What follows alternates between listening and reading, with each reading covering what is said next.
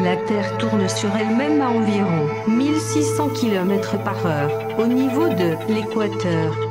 La Terre tourne autour du Soleil à environ 107 000 km par heure. Notre système solaire est entraîné dans une révolution autour de notre galaxie à environ 1 80 000 km par heure.